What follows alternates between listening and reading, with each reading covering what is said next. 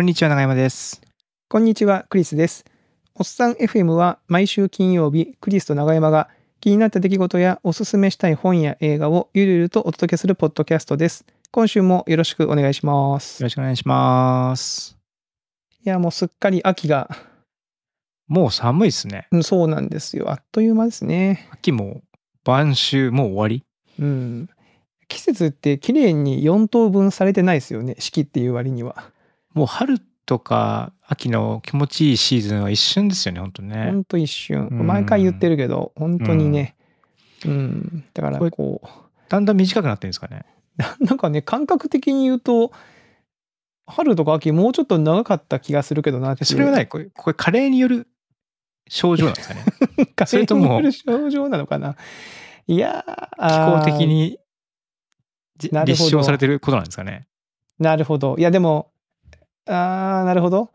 僕はなんかその気候変動とかに関係してそうとちょっと思ってたけど、うん。確かに加齢によって寒さに弱くなっていくから、そのコンフォートゾーンがだんだん狭くなっていく。狭くなってきて。めっちゃ寂しい話じゃないですか。それ、辛いな。辛いなまあでもその可能性は十分にありますね。ありますね。ありますよ。いや、これやばい。もうちょっとな先々が心配ですわ、本当ねうん。なんかね、老後にお金出して、ちょっと暖かい南国にあの移住する方もいると聞きますけど、えうん。その気持ちもわからんでもないですね。そのか自分の快適な環境にもね、そうそうそう場所ごと変えちゃうみたいなね。そうね。わかります。まあまあ四季があるのはいいけども、うん。しんどいっていうのもあるじゃないですか。ね、暑くなったり寒くなったり変化があるっていうと、うんうんうんやっぱりね、季節の変わり目に体調崩すとかってあるし、ある。もしかしたらその一定の気候の方が、ずーっとね、うん変わらず。ストレスなく過ごせるっていうのもあるかもしれないですしね。そうですね。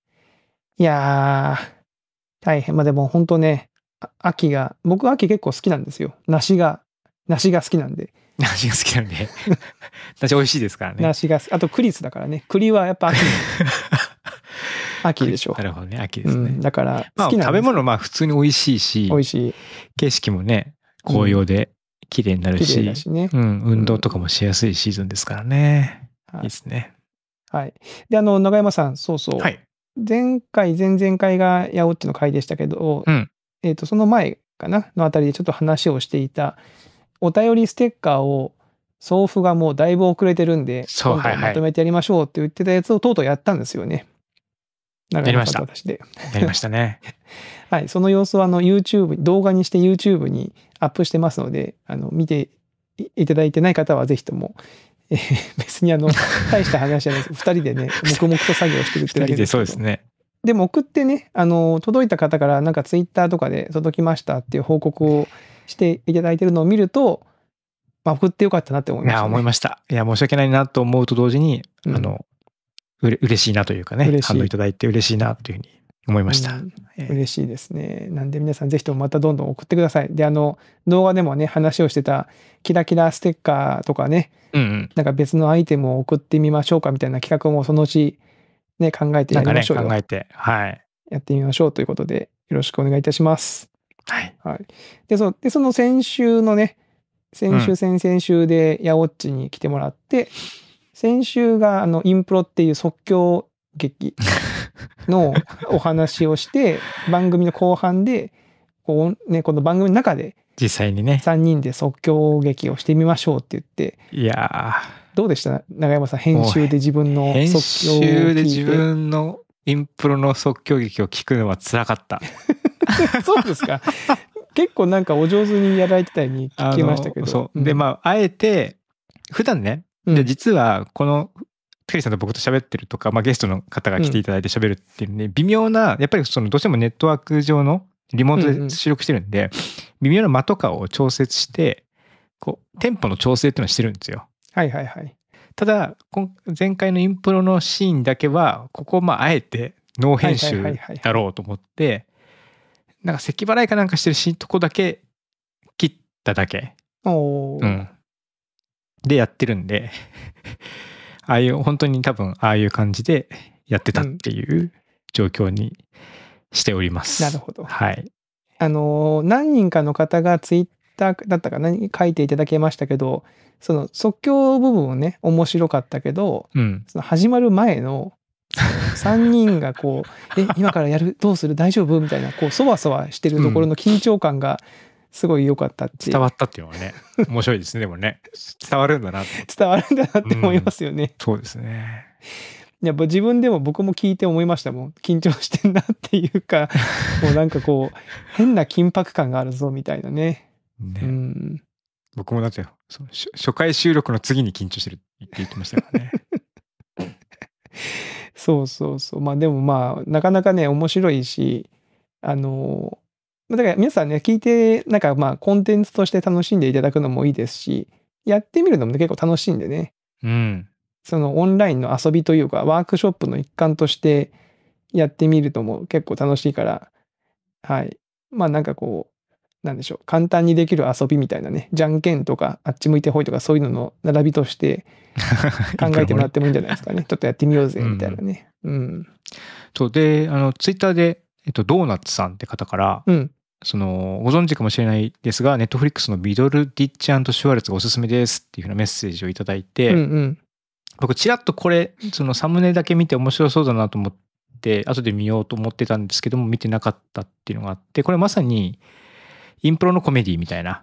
はいはいはい、コメディ、コメディってインプロなのかな？まあでもわかんない。えっ、と、インプロ、じゃあ即興劇うんうんうん。を、まあ、二人でやるんですよね。で、ミドルウィッチって、トーマス・ミドルウィッチっていう俳優さんと、えーベン・シュワルツさんっていう、その二人組でやるんですけども、このミドルウィッチの方は、あミドルのディッチ？ミドルディッチ。ごめんなさい、ミドルディッチ。うん。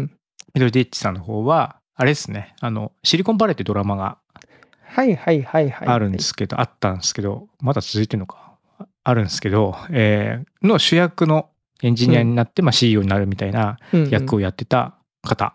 うんうんううん。ん。そうそう。で、それまあそれでも興味があって、なんか、あ、後で見ようと思ってたんですけども、実際ちょっとこれメッセージいただいて、ちらっと見てきたんですけど、おおー。いや、面白いですね。面白い。だだからこれをまあインプロ、前回のでね、インプロななんや意味わからへんなと思った人も、この、もしネットフリックス加入してたら、このミドル・ディッチシュワルツの二人の即興劇を見ると、あ、面白いさってこういうことね、みたいなのが多分わかると思い 思います。本物、本物っていうか、そうそうそうそうそうまあプロフェッショナルのものがあるってことですよね、うんそこにね。で、最初にね、こう、あの、客席の人と、うん。こう、なんか最近、なんか楽しみにしてることとか不安に思ってること誰かある人みたいな感じで言って、で、客席から結婚式って声が上がって、うん。で、まあ結婚式する、するにあたって、まあなんか、どういう人を友達を呼んでとかってそういう話で、ちょっと雑談をするんですよね。で、それをベースに劇が始まるっていう。へえ。なんで結婚式するから結婚式の劇になるんですよね。はいはいはいはい。うんで、やっぱすげえなと思ったのは、うん。率直にやっぱすごいなと思ったら、結婚式なんで、まあ、新郎新婦も出てくれば、うん。もちろん新郎新婦のご両親とか、うん。兄弟とかっていう、いるじゃないですか。もちろん。うん。うん。で、どんどんどんどんキャラが出てくるんですよ。え、でも演じてるのは二人。二人なんだ。しかも即興。即興で。うん。ええそれはすごい。これ、これ、これは、その、実際僕らインプロやったじゃないですか。やった。一人でも無無理じゃ、無理っていうか、てんやわんえんなんだけど、うんうんもう、二人目が出てきたりとかうん。うんうんうん。するし、で、もちろん最初にその雑談の中で出てきた、ちょっとしたその人間関係みたいなのが、その劇に組み込まれていくんですよ。はいはいはいはいはいはい。実はへ昔ー誰々と付き合ってたみたいな話がなんかポロッと出てきて、ええみたいな話がうんうんうんね、その前座でその客席の方と話してるんですけども、うんうんその付き合ってたっていう人がこう出てくるみたいな、ぽい人が出てくるみたいな。のがあって、多分ね、10人ぐらいは出てくるんですよ、キャラクターが。そんなに出てくるの、うんすごいですね。二人でやってて。そう。で、しかもそのまあ伏線じゃないけど、なんかそういったその事前の要素も入れてくるうん。し、こすげえなって、もう本当に圧巻って感じですね。すごいですね。やっぱこう、この間やってて思ったのが、やっぱ自分でやってて思ったのが、やっぱこう、自分なんですよね、やってるのが。演じてるかもしれないけど、あー、うんうんうんうんじゃあこうキャラを演じ分けましょうってなると多分途端に難易度が上がるでしょうし、ね、声色を変えるとか、ちょっとこう動き方だったりそうそうそうそうとか、あと女性も、女性も出てくる、の男性2人でやってるんだけど、うんうん。もちろん女性も出てくるし、うんうんうんうん。年寄りの人も出てくるしみたいな感じで、いやー、こなるほどなと。これなるほどなはすごいなっ。ていうふうに。うん。やばいですね。ドーナツさん、そんなのを見てた上で我々のあれを聞いたってことはもう相当、あれじゃないですか、その、ねまあまあまあまあ。え。まあまあまあまあ。いや、だから、うん、まあ、分かってくれますよ。その大変さが。逆にね。逆にうんね。うんうんうん。いや、そうか。え見てみよう。ちょっと僕もあのツイッターで面白そうだなと思ったんで、見てみますとは言ったものの、ちょっと最近積んでるコンテンツが多いので、ちょっと後回しになってたんだけど、見てみようかな、今度。えー、いいっすね。ミドル。いや、面白い早く続きが見たくて、ちょっとまだ最後のオチが見れてないから、オチっていうか、オチあるかどうか分かんないんだけど、一応調べたら3エピソード。そう、3エピソードもあって、今僕が見てるのはその結婚式っていうのが一番最初のやつですけど、うんうんううん。ん。もう早くこの収録を終わりにして、続きを見たいですね。あ、この収録をね、終わりにしてね。はいはいはい。えー、ありがとうございます。ちょっとね、いいコンテンツを教えてもらったんで、見てみよはい。う。はい。で、そんな中、あの、お便りがうんですね、届いておりまして、じゃあそっちの紹介をしていきたいと思いますね。なんか最近お便りが多くて嬉しいですね。う れ嬉しいですね。嬉しい。嬉しいな、えー、2通来ておりまして、はい。えー、1通目がですね、えー、10日91さんではいすかね。ありがとうございます。この時に、91って呼んだ方がかっこいいかな。10日91さん。10日91。いや、いや違うな。でも、90、ね、もしかしたら913って名前のね、あ確かに。いや、本当か？本当か？はい。まあ、10日、えー、913の911からですね。はい。えー長野から京都のお話を聞きたくて拝聴していましたが、プライベートの生活設計を含めたリアルなお話などいろいろ楽しく聞かせていただきました。うんえー他にも悩みや今後のどう、えー今後どうしていくかなど皆さんが悩まれている話もとても参考になりましたとうんいう感想のお便りですね。ありがとうございます。これ、八落さんの、えー八内さん回そうですね。ですね長野から、うんまあ、京都に、まあ、もしくはその兵庫に移住していくっていう風な流れの話を、前、前々回かな？前々回ですね。ええ。はい。しましたよね。確かに、うんあのーまあ、こういう話がね、聞けたのも、我々もね、うれ嬉しいで、我々はどっちかというと、京都にね、何年か前に引っ越してきた側、まあ、そのまま、まあ、ずっといますからね。いますからね。うん、変化が。が、まあ、ある意味ない、じゃない。そういう意味での変化はないから。うん。うん。けどな、まあ、面白かったですね。はい。やっぱ生活の変化っていうのはね、うん。こう、その参考になりますよね。うん。んそうですねど。それそこでどういう判断をしたのかっていうのが、うまん。あ、自分その時に自分だったらどうするかっていうふうな考えるしそれと彼は彼女はどういうふうな判断をしたかっていうこう比較するっていうのはねそうなんですよね。結構ね考える軸がさ、すごいいっぱいあるじゃないですか。で、多分その考える軸のどの軸を大事にして、どの軸は別にまあ、ちょっと3番、4番以下にするのかみたいな判断の仕方とかもまあ参考にね。なりますよねあそっかそういう切り口もあるんだなっていうねうん。考えもあるし、うん、よかったですね。うん。ありがとうございます。はい。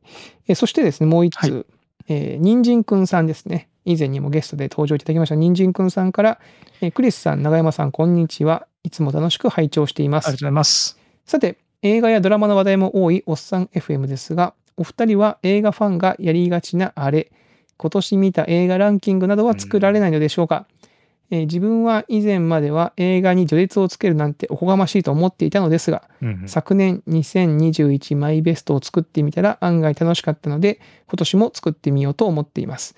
ぜひお二人のランキングも聞いてみたいです。ちなみに私の暫定今年1位は日本でく日本で暮らすクルド難民を描いた青春映画マイスモールランドですというお便りですね。人参くんはね、あれなんですよ。えー去年、一昨年かな。うんえードライブ・マイ・カー、ドライブ・マイ、え、ドライブ、ドライビング？ドライブ・マイ・カーです。あの、アカデミー賞？はいはいえードライブ・マイ・カーね。ドライブ・マイ・カー。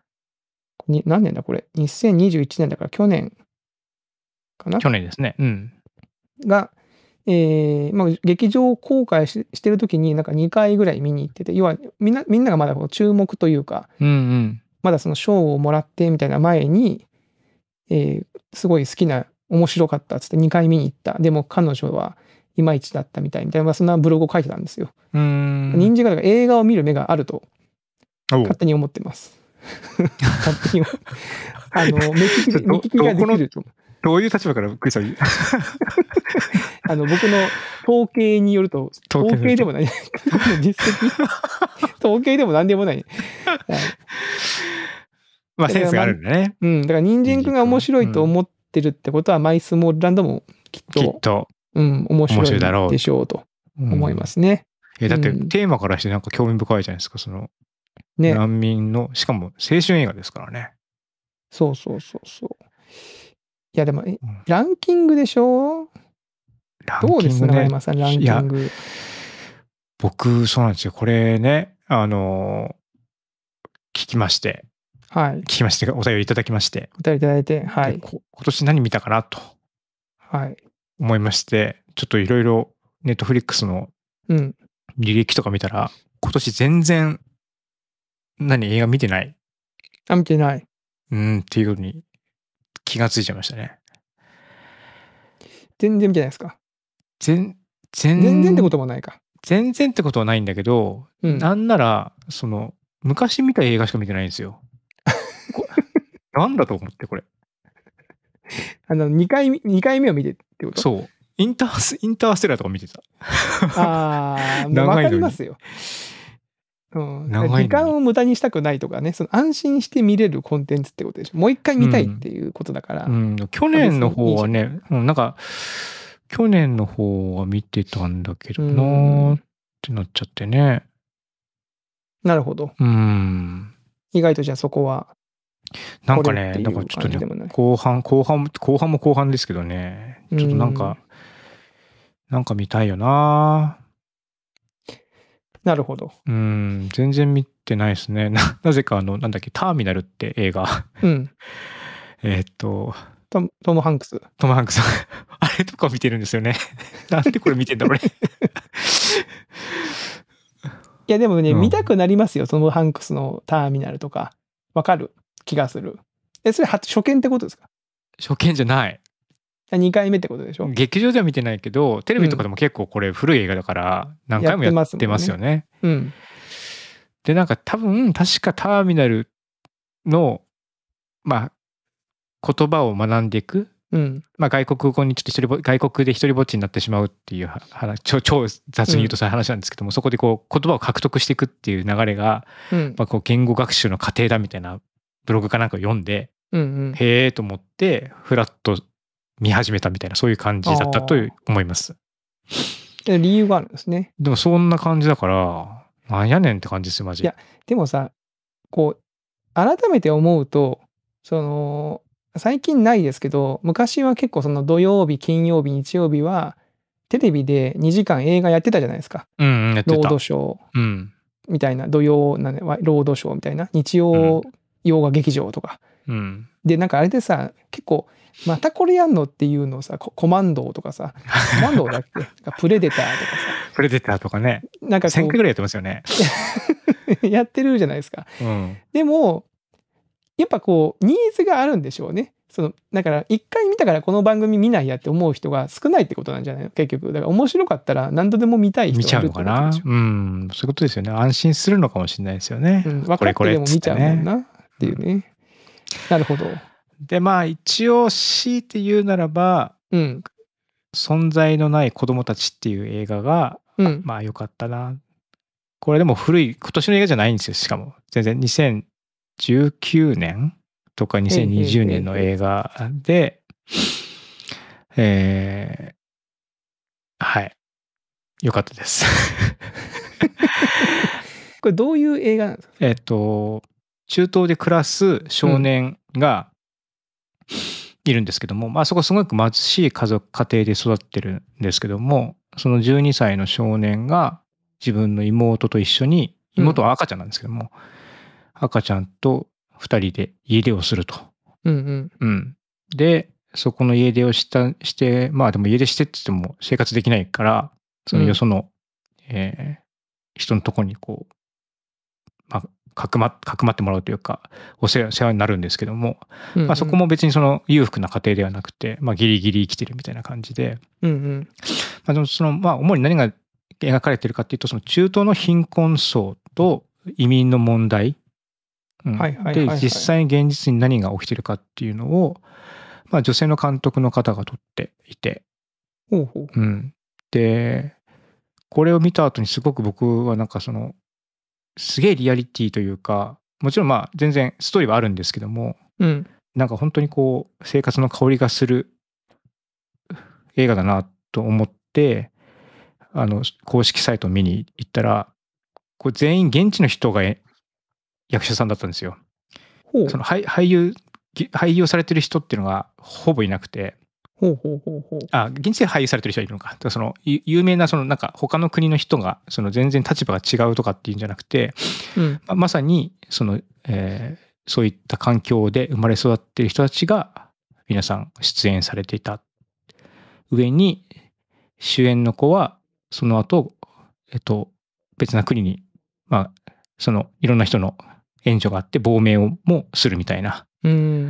感じで、なんか、なんていうかね、その後日談も含めて、うんうん。うん、すごく僕の中で印象に残ってる映画ですね。面白かったですね、これはう。ーん。結構シリアスな感じの。し内容はそうですね、話自体は、なんだろうな。あまりそう、大きな起伏、まあ、要所要所の起伏はあるんですけど、うん。うん。結構話自体ゆっくり進んでいくような感じなんですが、まあいろんなところでいろんなことを考えるっていう映画ではあるなと思いますね。うーん。なるほどね。ちょっと見てないから見てみようかな。うん存在のこれはちょっとね、子供たちね。面白いですね。非常に。えーはい。まあ、確かに評2019価も。高そうですね。うん結構見た人の。今年の映画も。も全然わかんない。僕はね、今年はね、うん。僕も実は見てる映画は記録をつけてるんですけど、やっうん。ぱこのコロナ禍の中で年々実は減ってはいて、一応今日時点で見た本数が今年27本、新旧合わせて。はいはい。えーで、今年の映画という意味で、うん。えーまあ、人参くんの言うナンバーワンみたいな暫定1位系統って言われたら、これはね、もうベタすぎて、うん。はい、はいっていう感じですけど、まあ、トップガンかな。トップガン。トップガンはでも、見た人はみんないいって言ってますよね。そうなんです。今年ね、僕の中でトップ争ってたのは、トップガンマーベリックと、うん。スパイダーマンノーウェイホああ、ームと、そうだよね。うん。あと、コーダ愛の歌。ああ。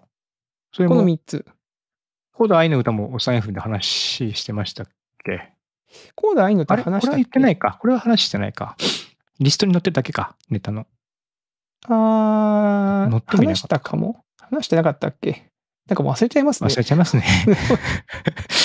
忘れちゃうんですよ。忘れちゃうね。えー忘れちゃうんこういうの、だですよね。からちゃんとまあメモっとかないとさ、えーあの、また同じ映画紹介してるよってなっちゃいますもんね。いよいよそれやばいですね。一応、検索しても出てこないから、まあ、で紹。介はしてないかもしれない。じゃあ紹介したいですね。うんしてないかもしれないかなうん。。でもまあその中でももうトップガンが。まあ、トップガンかな。トップガンだよな。いや、よかったですよ。やっぱいいんですね。うん。あの、正直結構、あの、まあ、スルーかなと思ってたんですけど、直前まで。うん。でもこれはちょっとなんか、なんだろうな。アメリカで先に上映があったんですよね。うんで、そそこの評判がめちゃめちゃいいって噂を聞きつけて、うん。うん。初日に IMAX で見たんですよ。うん。でももう超良かったね。いや、もうなんていうの、あのーまあ、中身はないですけど、うん、まあ超良かったです。トップガン前話したか。トップガン前話したね、おっさん。トップガンはね、FM でお財布で結構熱く語ってますね言いまし。たよね。うん。で、コーダ愛の歌、スパイダーマンあたりが、まあ今年の映画で、まあトップガンかな。で、コーダ愛の歌はすごい、長山さん知ってます？どんな、どんな話か。はい。話、見てないですけども。話は知ってる？はい。話は知ってます。話知ってるというか、その、えっ、と、トレーラーぐらいは分かってる。トレーラーが分かってる。る。もうね、もうベベタですけど泣いちゃうんですよね。うんこう、あーっていう、あの、感じはありましたかね。で、番外編で、今年の映画じゃなくて、うんうん。で、かつ、すなんていうのかな。誰にでもおすすめできるナンバーワンじゃないけど、ちょっと久しぶりになんかこう、勢いのあるものみたいなっていうのが、一本ありまして、はい。えー、黄龍の村っていう映画なんですけど、氷の村？はい。黄色い竜の村。これがね、多分ね、今ね、無料で見れるとこないのかなあるかなあ、オンデマンドとかで？オンデマンドでレンタルして、僕は見ましたけど、うんこれ怖いやつ？うんとね、うーん、まあ、怖、怖い、ちょっとね、ネタバレをするとよくないんだけど。あの、まあ、基本ホラーテイストの映画なんですね。はい。まあ、あの、な若者たちがキャンプ場に向かうんですよ。あ、いいですね。もうこの時点ですよ。若者がキャンプ場に向かったらもおーいいですねう。いいでしょ？う。もう、うんまあ、まずこの時点でいいじゃないですか。はい。で、一応その最初の方が、なんかちょっと撮り方が、なんだろうな、ちょっとこう、最初の方の撮り方が、まあ、低予算映画なんですけど、うん。えーまあ、ドキュメンタリー風というか、あ、手持ちカメラっぽい手感じの？持ちカメラ、まあはいはいだけどスマホカメラで仲間内で撮ってるみたいな感じなるほど。はい。まあ、撮って、若者たちが、まあ、パリピ系の、こううん。いウェウェイウェイ系の若者っていうんですか、はい。やこう行こうぜ行こうぜとかっつってでそこについてくるちょっとオタクっぽい感じの男の人たちみたいな。うん。なぜかついてくるんですよね。その一緒に。6人ぐらいで行くのかな？うん。で、まあ、車の中でもなんかお前らもっと喋れよって言ってもなんかこう黙っててなんかムスッとしてるんですけどそのなんかちょっとこう奇妙ななんかこう組み合わせの一行がキャンプ場に向かうんだけど、うん。その途中で、えーこうね、電話もつながらない山中で、車がパンクしてしまうんですね。うん。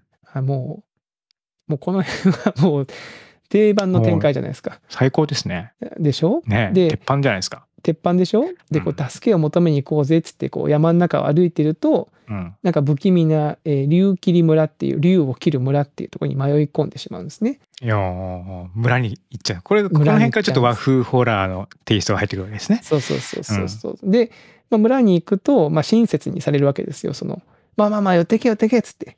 でこまあまあ今日はもう遅いし、パンクは明日俺が直すから、まあ今日は泊まっとけよみたいなことを言われて、う。うん。で、ええみたいな。ちょっとこの妙に親切にされるし、なんか雰囲気もちょっと変だし、帰りたいなと思うんだけど、ちょっとご利用しされてこう泊まっちゃうんだけど、うん。まあ当然もうここ、まあこの辺まではまあ想像の通りなんで話しますけど、なんかうん。こう、実はその村がちょっとこう変なの村で、なんか池に、とあるなんかこう神様っぽいところに生贄を捧げるたあめに迷い込んできた。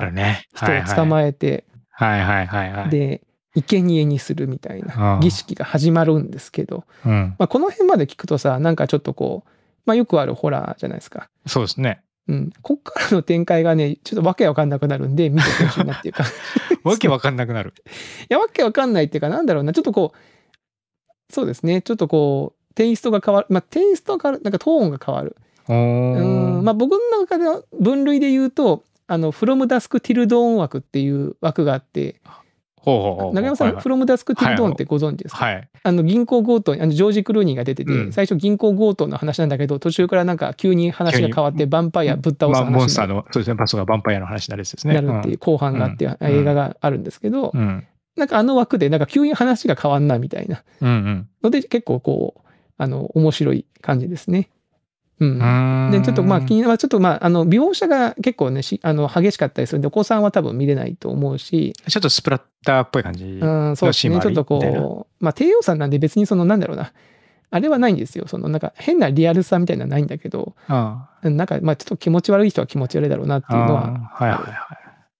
けどまあそういうのにが得意で、まあホラー映画とか結構見ますよっていう人は見ると面白いかもしれないですね、これ。はい。えまあ結構ね、面白かった。この交流の村は、僕も友達から教えてもらって、えーどれどれと思ってみたけど、あのー割と良かったですね。うん。ー、Amazon プライムで有料でレンタルできる。はい。あと Unext とか、レンタルしたか Unext な。とか楽天 TV とかでも今は、まあ全部有料かな。有料だで、レンタルができるみたいな感じですね。うん。うん。うん、見てみようかな。はい。っていうの、え、なんか、あれですか、長山さん、この、もうちょっと他のやつも喋っても大丈夫？い 全然いいですよ。や、なんか他に見た映画が、まあ、ナンバーワンを争ったけどっていうのと、今年の映画じゃないんでっていうので、ちょっと枠外になったやつっていう意味で言うと、はい。えーサマーフィルムに乗って、サマーフィルムに乗って。うん。えーまあ、これもだから、枠としてはどうなんだ？低予算なのかな？これも邦画。邦画ですね、これも。なんかその、とある、えー高校が舞台なんですよ。うん。で、高校に映画部があって、なんかこう、世間世間から、こう、天才、まあ、天才監督っていうか、こう、もてはやされてる女の子の部長がいるんですね。うん。でその子の、その部長が、なんか、その映画部の中で、もうなんかめちゃめちゃベタな恋愛映画を撮ってるんですよ。で、みんなでそのその子のことを応援して、恋愛映画撮ろうぜ、天才天才って言いながらこう撮っていくんですけど、うん。その部の中に一人いる女の子がうん。時代劇オタクなんですよ。ああ。で、自分はその時代劇を撮りたいって言って、時代劇の脚本とかを書いて、その映画を作るときにこうコンペに出すんだけど、部内コンペに。うん。もう自分の一票しか入んないの。まあ今時時代劇はみたいな感じなんですね。の中に、なんか、で、まあ、自分どうしようかなと思ってた時に、たまたま街でこう、ばったり、自分のそのイメージ、自分の時代劇に登場したらめちゃめちゃハマるであろう武士、理想の武士役の男の子と出会うんですよ。理想の武士に合う？理想の、まあそのあこの子が武士をこの子が武士になやったら、ハマるな、みたいな。ハマるな、みたいな。な。で、ぜひともって言って誘うんだけど、その子はなぜかちょっと、いやいや、自分は自分はっつって言うんだけど、まあ強引に引きずり込んで、うん。その映画部とは別で友達だけで時代劇を撮ろうとするんですよ。うんうん。でこうめちゃめちゃ熱い感じになってきて、でもなんかその男の子には実は秘密があってみたいな話で、ちょっとこう SF チックな話もありつつ、あの、ちょっとこう青春テイストで、なんかものづくり、映画を作るものづくり的な感じの匂いもあって、ななんかこう、割とキラキラした感じのね、気持ちになれる映画ですね、この。うん。え、青春で SF が関わってくるっていうとあれ系？何？バックトゥザフューチャーと気をかけちゃう感じ？まあ、うーん。当たってんな、これ。まあ、うーん、まあそうね。そうですよね。もう、だ青春で SF って言ったらそうなっちゃいますもんね。なっちゃうか。なっちゃうあ、でもいいね。いや、でもそれでも、そう、そうだ、それが分かったとしてもドキドキしちゃうね、僕は。ドキドキしちゃうでしょ。うん、いいですね。いいでしょそでもなんかこう、そう、そうなんですよ。でもそのなんかまあ、僕はそのなんか女の子が一生懸命もの、映画を撮ろうとする気持ち、うん。自分の好きなものを作りたいって、それをどうアウトプットしていくんだみたいな、こう情熱とかがすごくこう眩しいし、うん。なんかいいなと思って、こう、こういうパワーをげ、元気を分けてもらえる感じのね、うん、映画でしたよ。うん。よかった、結構。いいなサマーフィルムに乗ってっていうのが、何ですかね。うん。映画見よう。テレビシリーズはね、なんか、まあ、うんポチポチ見てるんですよあね。ードラマ。ドラマをなんかね、ネットフリックスでね、それでちょっと時間を今年は使ってた。使ってるまあ、。それにしてもあんま見てないですけどね。あの、長山さんが言ってた、さっき言ってた、昔の映画見ちゃうって言ってたじゃないですか。うんうん。あの、それで言ったら僕も今年、スパイゲーム見てますね。スパイゲーム、おう スパイゲーム見まし見たことあります？スパイゲーム僕見たことないですね、これ。ないんだ。うん。すげえ古い映画ですよね。すげえ古くもねえか。です僕が大学生あ、そんな前か。の時の映画ですね。ブラッド・ピット？そう。ブラッド・ピット氏とレロバート・レッドフォードがそうですよね、ロバート・レッドフォード。俺多分ね、これね、見たことないんだよな。監督がね、トニー・スコットなんですよ。トニー・スコットは、あの、トップガンの最初の作品を撮った監ああ、はいはいはい。督。トップガン、マーベリックが公開されて、トップガンマーベリックはもう別の監督なんで、トニー・スコットはね、ねあの自殺して亡くなってるんですけど、あ、その自殺してるんだ。そうなんですよ。橋の上から飛び降りちゃって。はい。兄弟監督ですよね。あの、トニー・スコットは。あ、そうなんだ。リドリー・スコットとエイリアンのリドリー・スコットのお兄さん。どっちだったっけ？お兄さんだったかな？兄の一人はリドリー・スコットって書いてあるから、あで弟の子なんでね、弟ハンターね。うん。トニー・スコット。僕結構トニー・スコットの映画すごい好きで、え、ビバリー・ヒルズ・コップ2も撮ってるじゃん。そうですよ。トップガンでしょ？ビバリー・ヒルズ・コップ2。エネミー・オブ。ブ・アメリカ。エネミー・オブ・アメリカもよかったよ。あと、トゥルー・ロマンスとかね。クリムゾン・タイドが僕めちゃめちゃ傑作だと思ってますから。これ。あクリムゾン・タイドもいいよ。あ。あ、でもこれ好きな人は好きですね。そうか、クリスさん好きなんだ、これ系これね。僕好き。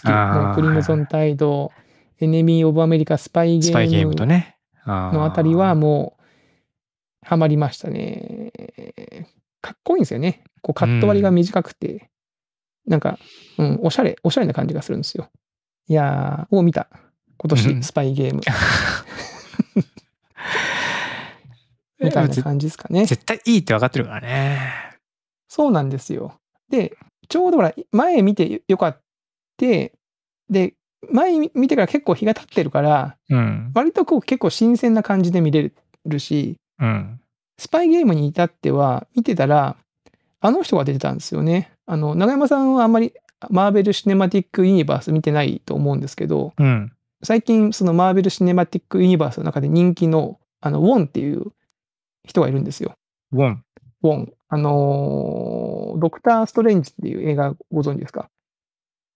ドクター・ストレンジっていう、えーキャラクターの、その、なんていうのかな、相棒みたいな感じ？ちょっとアジア系のドクター・ストレンジのさらに相棒なんですね。相棒ですね。はいはい。はい。で、ちょっとこう、いろんな、その、なんだろうな、スピンオフにも結構あちこち登場してて、結構、あのーちょっとお茶目なところもあり、うーん。キュートなんだけど、ちょっと話をかき混ぜるようなこともしたりして、結構こう、キャラクターとしては結構人気なんですけど、その人がこのスパイゲームに、結構鋭い目つきのスパイとして一瞬登場してて、ああの人じゃんみたいな。へ別にコアなキャラじゃないですよ。本当にちょい役でちらっと出てる感じなんですけど、ーあ、ここに出てたんだと思って、興奮しました。そういうのね、後から知ると、いいですね。びっくりしますよね。びっくりするじゃないですか。うん。あの、前に話したあの、星の王子ニューヨークへ行くにいっぱいね、あの、黒人の有名俳優がいっぱい出てるはみたいな。感じで、あ、この時に若手のこの人出てたんだっていうのうんが結構興奮し見ますから、返すと、そういうの確かに気づくっていうのはね、あったりしますよね。そうなんですよ。中山さんはドラマシリーズ結構見てたんですか？今今年は。ドラマまあでも言ってもあれだな、アンブレラアカデミーが出たよっていうのと、うんラブレスロボットっていう短編の映像作品集みたいなのと、あとペーパーハウスコリアってやつ？はいはいはい。あ、韓国ドラマペーパーハウスコリア。はいはい。うん。韓国ドラマで銀行強もとも盗みたいなやつ。とスペインのやつでしたそうそう、もともとスペインの。うん。ス中山さんが前紹介してたやつかな？そうそうそうそう。うん。それのななぞりでペーパーハウスもも見てみたいな感じだったりとか。でもそんなもんかな。うーん。そんなもん。うん。あなかなか見るのも大変ですもんね。なんか今年時間なかった気がするな。繰り返ると。うーん他にいろいろ時間を使っちゃったんでしょうね。きっとね。う。うんん僕はあの、あれ見ました。その、ネットフリックスの中で、地上波のドラマを最近やってるじゃないですか。昔やったやつとか？そうそうそう。